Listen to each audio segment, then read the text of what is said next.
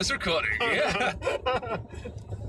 uh, hey there, guys. I'm on a six-hour trip to Edinburgh and then another hour trip to Dundee. Me and my friend Daniel here are going to the Fringe Festival and then a Dare to Play, Dare to Proto Play uh, festival in Dundee. So uh, check out some pictures in this review.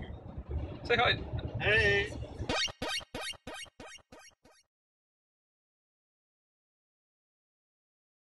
Hey there guys, my name is Simon and today I am reviewing the LG Nexus 5. I'm just going to jump straight in here and say that if you are after a high powered phone but on a bit of a budget, then I'd seriously recommend one of these phones. The Nexus 5 has been out for a small while now and they seem to sell out almost instantly because of the fan base behind them and the practicality of these phones.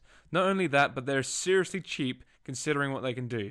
So whilst I'm complimenting this phone, let's get down to the nitty gritty. The size of this phone seems to be very similar size to the Galaxy S2, so it's a decent size in your hand, as well as that it is quite lightweight, weighing at 130 grams. The screen is able to produce a full HD video with no hiccups at all, ranging in almost 5 inches and a 445 ppi. On top of that, it has Gorilla Glass 3, and I'll admit I've been using this Nexus 5 pretty roughly in my time of use for it, and there are some scratches on the screen, but nothing too major that would hinder the visuals whilst watching film or YouTube videos. As well as that, it comes with either 16 or 32 gigabyte of memory, but no ability to pop in an SD card anywhere because it is a sealed unit. Cosmetically, it isn't the most stunning looking phone on the market. You can either get it in white or black, which are the two most common colours I've seen with this phone. However, the internet also tells me that it comes in red too, so if you're after that colour, do a little bit of ruffling around the internet. White seemingly has this plastic feel to it, whilst the black version has a more rubberized, uh, rubbered gripped back. So I guess you get to decide if you like your phone to slide or not. The camera at the back sticks out the phone, but not by much, but it does feel like it does have the potential to get caught on objects which could cause some serious damage to the phone, especially if it's in a cramped environment. But if you're buying this phone for its looks, then you're buying this phone for the wrong reason. There are no third party apps from LG like you get with your Galaxy phones or your Sony phones.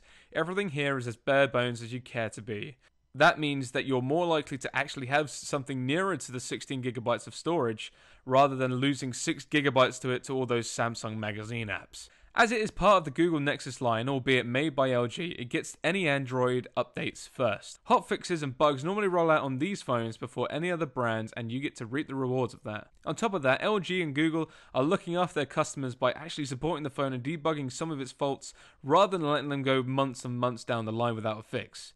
A main problem I initially had was with the camera when I first tested it.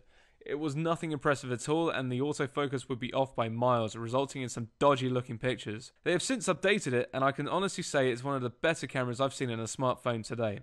And that is coming from an 8 megapixel camera in a market full of 13 megapixel cameras now. With that said, it most definitely still struggles in low light situations, but it can still yield some great results if used properly.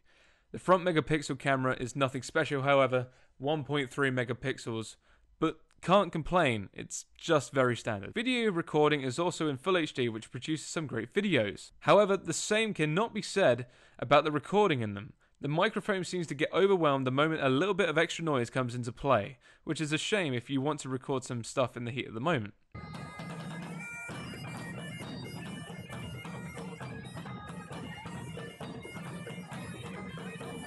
Now, I've said this phone was powerful and I meant it. I've had no problem running any of the latest apps so far, albeit I have none really to show in this video, but graphic intensive games like Despicable Me and Order of Chaos have run seamlessly smooth for me. My only complaint so far, like most phones, that it gets exceptionally hot and when it does so, it can cause the phone to crash the apps.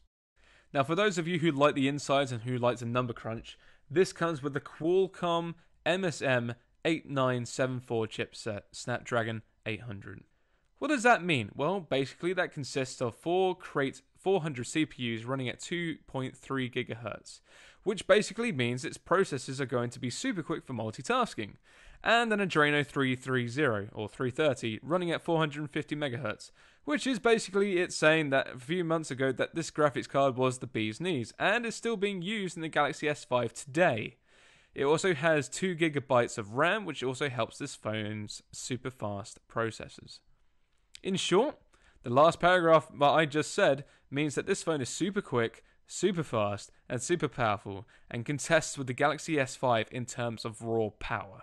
There you have it. It's a beast of a phone for less of the money. I can't deny I'm really looking forward to seeing what the Nexus 6 will be able to produce. Again, if you are on a budget but want to have a decent phone, go with a Nexus. That's all from me, guys. If you want to go and check out the prices for the Nexus 5, then go on our website at www.webuy.com or pop into your local store for more details. Remember, we buy all of your old stuff for cash, or if you're looking to exchange it for something else, we offer more value on our in store voucher. Check back soon for another review. Oh, and uh, enjoy this terrible singing.